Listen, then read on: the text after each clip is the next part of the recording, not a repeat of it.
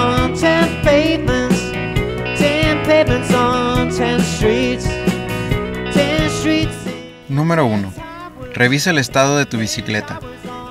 Revisa que las llantas tengan la presión de aire adecuada. Si no tienen el aire suficiente, tu viaje será más pesado y con más probabilidad de que sufras una ponchadura. Revisa al costado de la llanta la presión adecuada y con ayuda del gauge revisa si la presión es correcta. O puedes pedir ayuda en cualquier gasolinero o taller para que te ayuden a inflarla.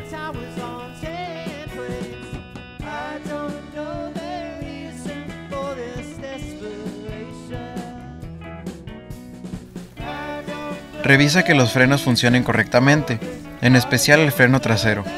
Revisa que las zapatas no estén muy desgastadas. Presiona la palanca del freno. Si es necesario apretar muy fuerte o muy suave para que el freno funcione, hay que hacer un ajuste.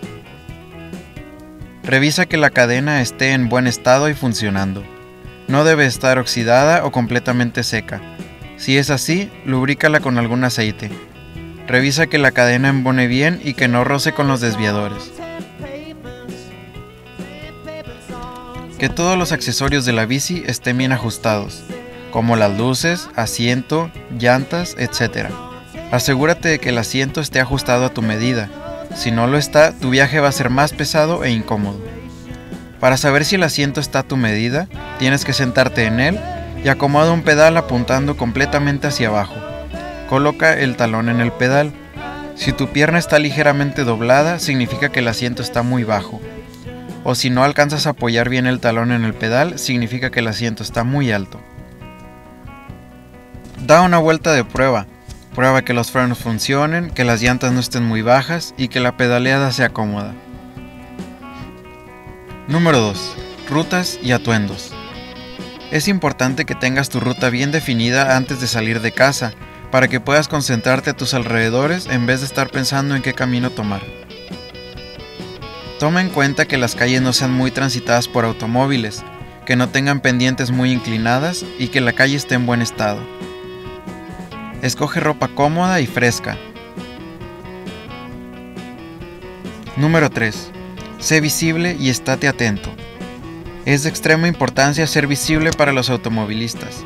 Utiliza al menos dos luces en tu bicicleta, una de color blanco en la parte de adelante y una de color rojo en la parte de atrás. Utiliza ropa de colores claros y de ser posible, usa un chaleco reflejante, en especial en las noches. No utilices audífonos. Es muy importante que tus cinco sentidos estén atentos a lo que está sucediendo en el momento, para poder reaccionar rápidamente ante una situación inesperada. Número 4. ¿Dónde y cómo circular? Para poder circular en armonía con el tránsito de automóviles y peatones en la ciudad, hay que mantener una trayectoria constante y predecible. Por tu seguridad y la de los demás, circula en el sentido correspondiente de la calle y siempre en línea recta. Esto es para mantener una trayectoria predecible y así sea más fácil para los peatones y automovilistas transitar junto con nosotros en la vía pública. Existen dos posiciones de transitar junto con los automovilistas.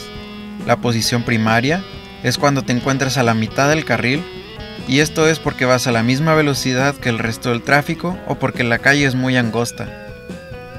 Y está la posición secundaria, que es cuando vas por el lado derecho del carril compartiéndolo con los demás vehículos. Esto solo debe ocurrir cuando no puedes circular a la misma velocidad que los demás autos o que el ancho de la carretera lo permite. En caso de que sea necesario rebasar o cambiar de carril, hay una serie de cosas que tienes que tomar en cuenta para hacerlo de forma segura. Siempre rebasa por la izquierda y antes de cambiar de carril, voltea y analiza la situación. Si en el carril al que te quieres incorporar viene un camión o motocicleta, no cruces, ya que a ellos se les resulta más difícil reducir su velocidad para dejarte pasar. Señala con tu mano tu intención de cambiar de carril y realiza el cambio de manera suave, no repentina, pero firme.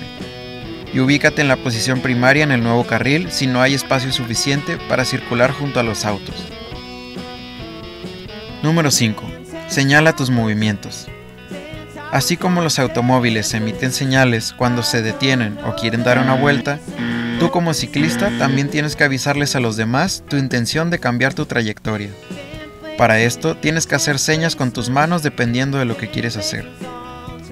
Si quieres dar vuelta a la izquierda, levanta tu brazo izquierdo y manténlo recto. Si quieres dar vuelta a la derecha, haz lo mismo pero con tu brazo derecho. Si quieres detenerte, levanta tu mano o puño al centro. Número 6. Cruces, semáforos y vueltas. Siempre tienes que recordar que tu bicicleta es un vehículo y tiene los mismos derechos que los automovilistas, por lo que tiene las mismas obligaciones que ellos. Cada semáforo en rojo y señal de alto hay que detenernos. Al hacer esto, si hay más automóviles en alto, posiciónate al frente de ellos para que vean que estás ahí y tengan precaución al arrancar. Número 7. Preferencias de paso. La prioridad siempre va a ser el peatón. No andes sobre las banquetas, y cuando hagas alto no bloquees los pasos peatonales. Si un peatón necesita cruzar la calle, siempre hay que cederle el paso, haya semáforo o no. Número 8. Observar. Como ciclista, tienes que estar consciente de que la mayoría de la gente no está poniendo atención a su alrededor cuidándose de los ciclistas, por lo que es muy importante siempre estar atentos a todo lo que está sucediendo a nuestro alrededor y movernos junto con el tráfico y no en su contra. Para empezar, siempre tienes que observar el camino enfrente de ti en busca de baches, topes, boyas, alcantarillas, etc. Número 9. Dónde estacionar tu bici y cómo encadenarla. Para evitar un robo, lo ideal sería que tu bici esté en un bici estacionamiento. Sin embargo, no en todos lados cuentan con esta facilidad, por lo que la gran mayoría de las veces hay que estacionar la bici en donde puedas, y para esto hay que tener varias cosas en cuenta. Busca algún lugar bien iluminado y que esté a la vista, que tenga una banca, poste, árbol o cualquier cosa que esté fija al piso y no se pueda zafar. Pasa el candado por dentro del rin delantero y el cuadro de la bicicleta. Si la amarras solamente de la llanta, se pueden llevar el resto de la bicicleta fácilmente. Número 10. Cómo subir y bajar una bici por las escaleras. Hay dos maneras de cargar tu bicicleta.